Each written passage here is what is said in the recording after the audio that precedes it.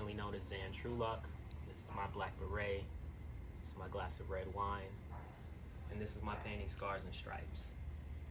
So this is the second of my Friday fireside chats live from my backyard. And I wanted to do these to be very intentional in, in showing you the intentionality behind my artwork actually. So um, I'm even intentional down to the fact that I wore a sillier fit today because of how heavy the content is in the artwork.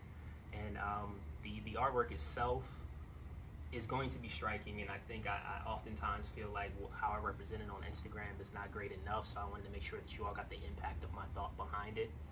So, Scars and Stripes was something I created in 2015.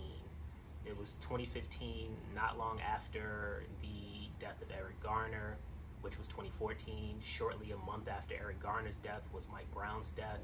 There were countless others in that time period, and even preceding that, I mean, you can go back to Sean Bell, Amadou Diallo, even before that. But this brutalization of the black body by excessive force from police officers, and that brings us to present day, where the work is still exceptionally relevant and scarily so with what just happened to George Floyd.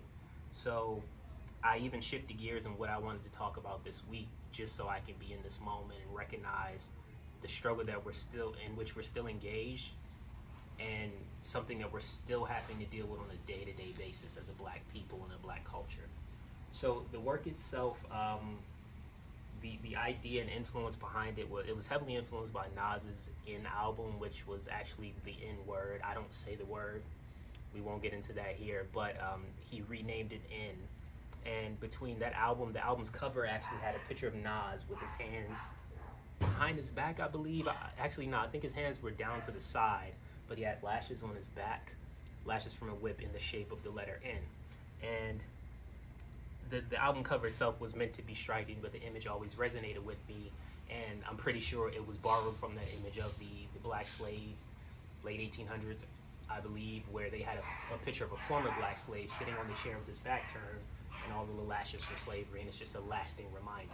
So when I went into this piece, I was thinking of how the police brutalization of the black body is legitimately a lasting reminder of slavery, a lasting reminder of the hatred that they have for us, a lasting reminder of the system in play that is continuing to oppress us and legitimize the power to murder and execute us.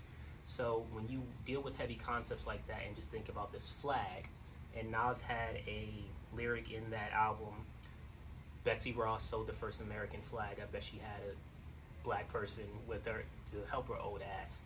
And just even thinking about that, like the fabric of this country is made up of the blood of our ancestors, the tears of our ancestors, our hard work.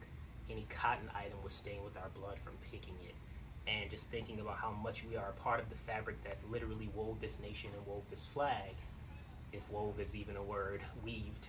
um, and then thinking about the stars that go on top of that and the shield that they're hiding behind with stars and that being the different cop badges. So again, with so many different things happening at one time, sips my wine.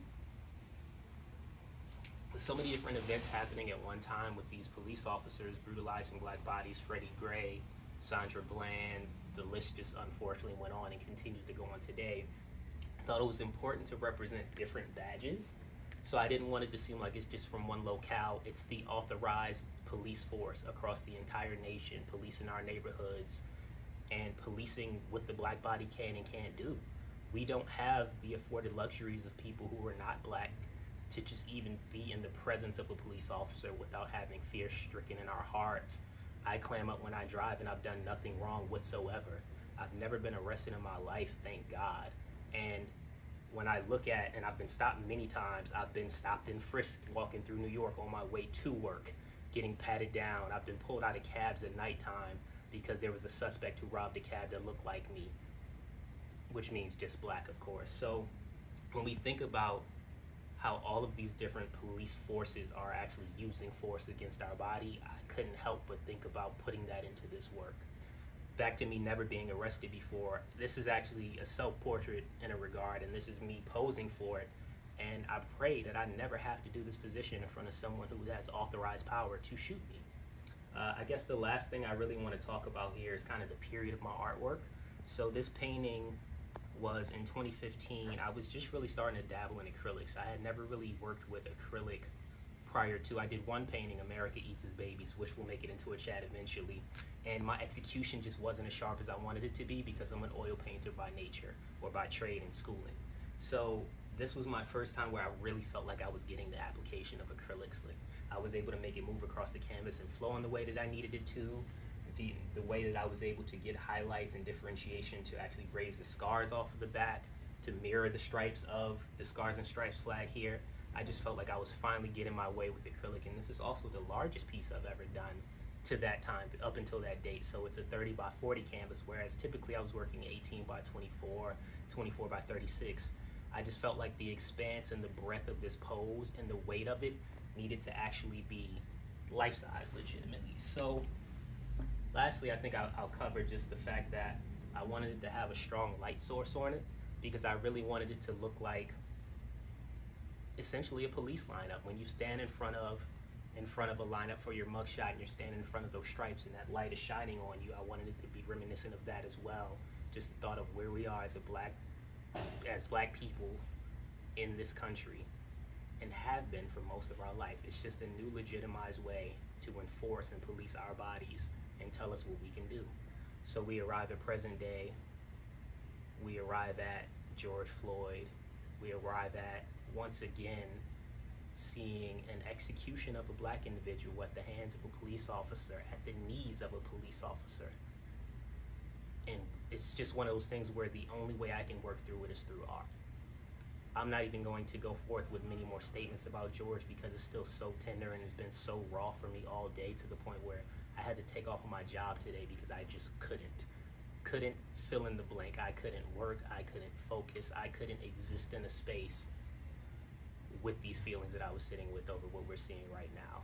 So uh, again, I was I'm Zan Truluck, or the artist currently known as Zan Truluck. This is my glass of wine.